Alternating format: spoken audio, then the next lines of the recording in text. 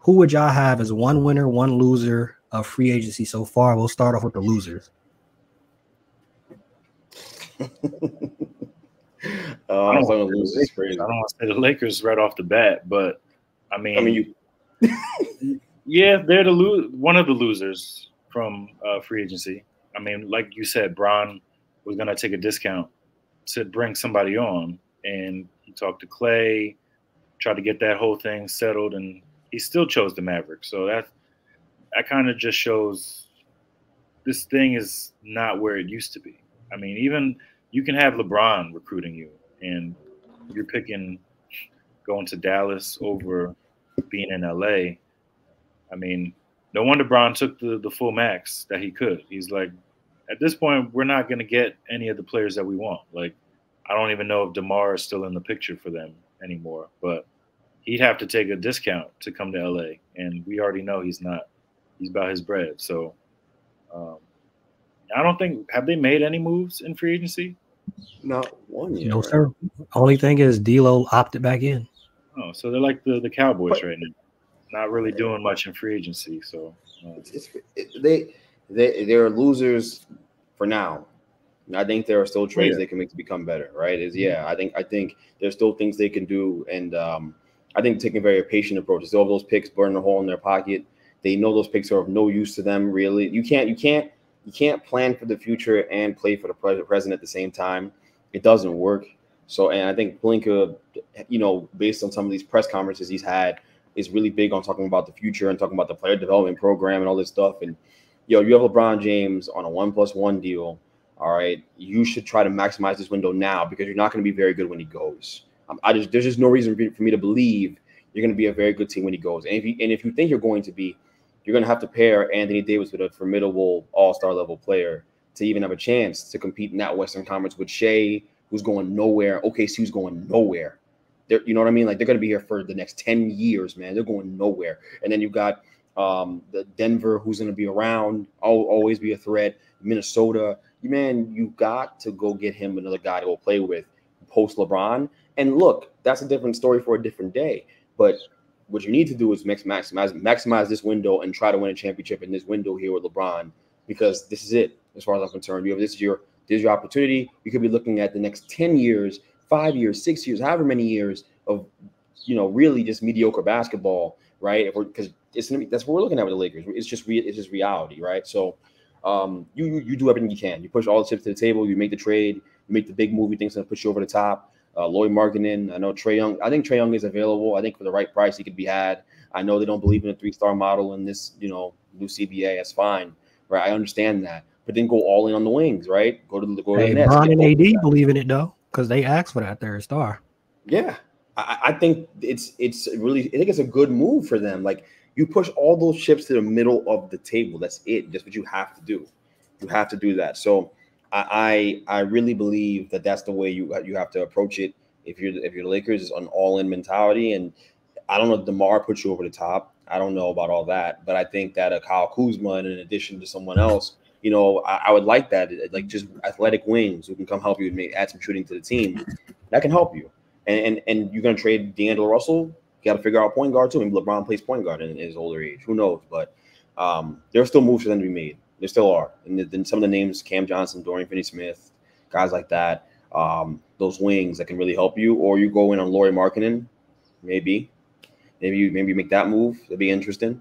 Um, but they got to do something. They can't sit here and do nothing, and they got to go all in on this window. Yeah, the other thing too, Miles, they brought back Max Christie. That that's well, all they've done. That's all they've done like so far in free agency. I love that they kept him because it was actually conversation that they might lose him. So they did at least that right. I think Dalton Knecht's gonna have a good impact on uh this year from off the rip. He's not going to the G League. Uh, no. Dalton is not going to G League. He's ready right now to play and make an impact like you said, you gotta figure out what they're gonna do. Try to get some wings. Try to do something. Is it's literally kind of the same thing the last two three years. Is like y'all just trying to get JV pieces at this point to just see who fits around. Me personally, I'm trading for Trae Young. If I were them, I'm going all in on a three star model. I'm trading for Trae Young. I think Trae Young is the perfect running mate for LeBron and AD. The shooting he provides—you shooting from the one of the biggest problems you have You add that shooting, which is an elite level shooter. I know he's not a great defender necessarily, but you have good defenders around him per se. I don't think you have to give up nearly as much as you think you have to in that trade. I think you know I, I so you have to come up with a couple guys maybe, but I I would really go in on that move because it's it also sets you up for the future at the same time. Then you have Trey and AD there when LeBron's gone, and you get right back underneath that second that second apron, and you know you make some moves. And you can go back to the two star model when it's all said and done. But that's what I would do. I would go in. I would because I think that that move is the highest ceiling of all the moves you could make. If it works, it's a it's a boom, right? It's a hit. You're gonna potentially win an NBA championship. If it doesn't work, all right, it sucks. But what you're doing now may not work, anyways. At least now you know that's that, that big three, and you surround them with any kind of shooting with you know Knecht or you you got you know we can keep Reaves maybe right uh, on the on stat on the contract, but you can, you can because we know uh, the Phoenix Suns, you know, pull up, pull money out of their behind to get keep great Grayson Allen out with, with those guys over in, um, in Phoenix. If you can keep uh, Austin Reaves and some other guys, you have a really formidable five, and you have to have some decent backups. And I think you can probably make that happen. So that's what I would do. I think the Lakers have a chance to compete for real if they had Trae Young. I'd go all in on Trae Young for sure.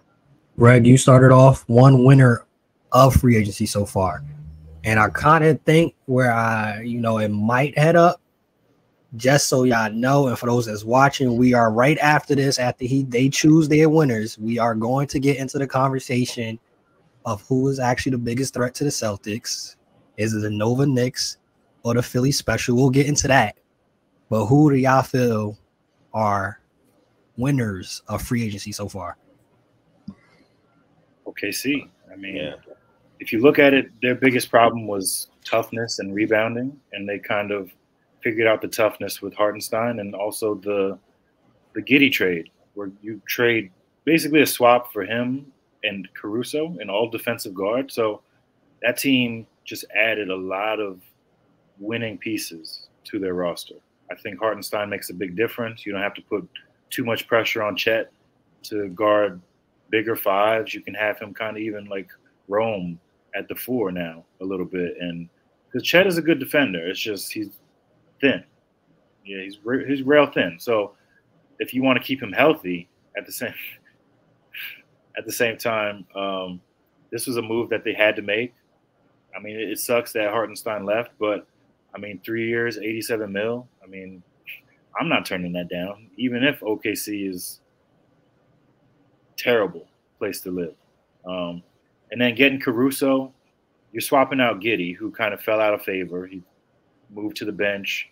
He was already kind of on his way out, and then you add a, a really good defender, a smart player that every team was interested in at a point when you know the Chicago Bulls were clearly trying to sell.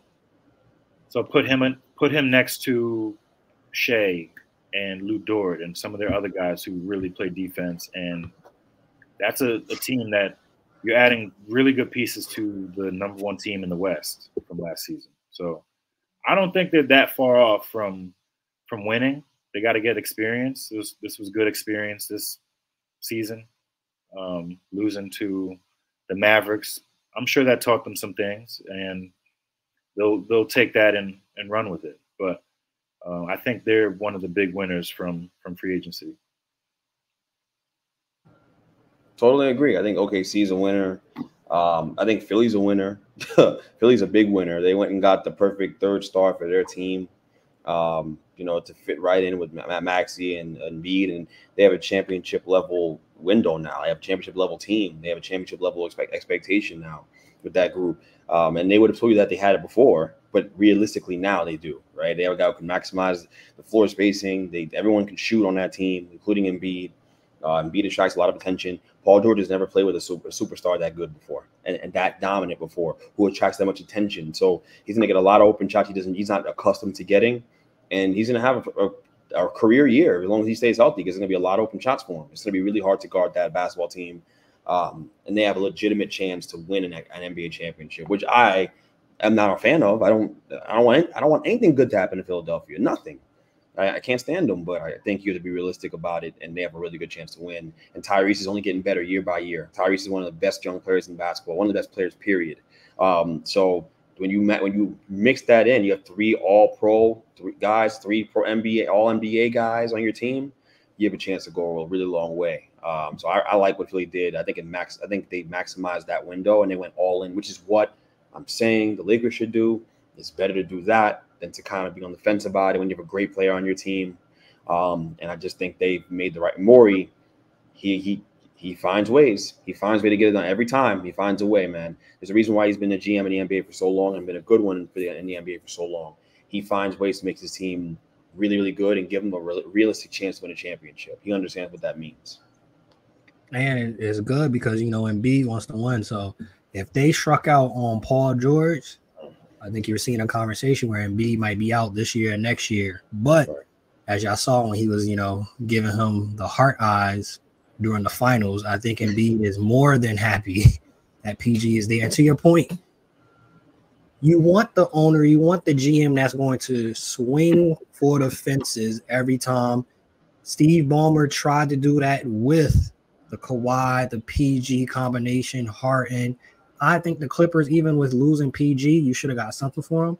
They are one of the winners in this too, because now you kind of get it's a better structure. I don't think that big three was going to work at all. You keep Kawhi, who's going to play about 62 games per year. You bring back Harden, and then you add in even I think a sneaky, sneaky signing. I know he has his off the court issues, but Kevin Porter Jr. If his head is on straight, coming to the Clippers, I think is going to be a with Ty Lue as a coach too. At that, he not throwing no soup on Ty Lue. He not doing no stuff like that. Ty Lue not having that. I think Ty Lue could get the best out of him. I don't see them winning a championship or nothing like that.